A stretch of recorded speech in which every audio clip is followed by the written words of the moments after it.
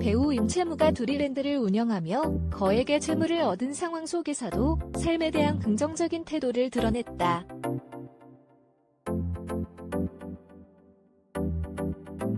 4일 방송된 KBS ETV 살림하는 남자들을 위해서는 김미디어 정성윤 부부가 임채무가 운영하고 있는 경기도 양주의 놀이공원 두리랜드를 방문하는 장면이 그려졌다.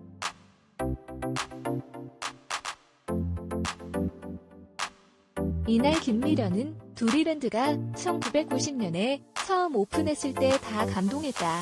돈이 없어서 못 노는 아이를 보고 만들 생각을 하셨다고 했다.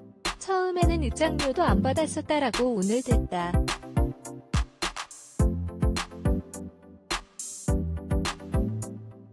이에 임채무는 그래서 바보 소리를 많이 들었다. 아이들이 철없이 뛰어노는 걸 보면 그게 더 없는 행복이다라며 1988년부터 준비해서 33년째 운영 중이다. 그런데 그때나 지금이나 변한 건 하나도 없다. 임채무 그대로다. 채무라고 셀프 디스했다.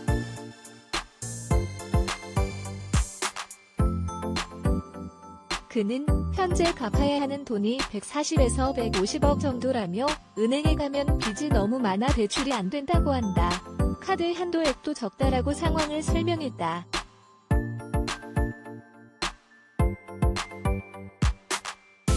그럼에도 임채무는 긍정적이었다.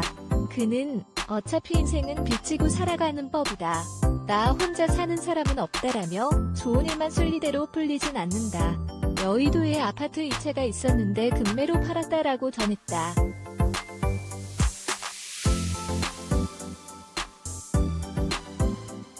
이어 갈 데가 없어서 수영장 안에 화장실을 지었다.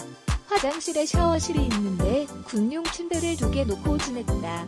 그래도 낭만이 있었다라며 그렇게 화장실에서 1년을 살았다라고 당시를 떠올렸다.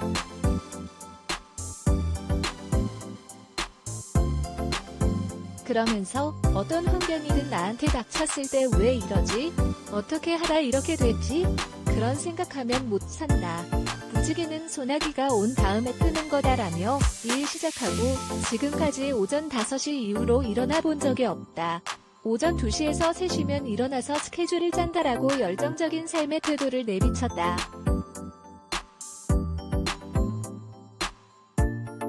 서은의 프리랜서 에디터 호프커리어의 gmail.com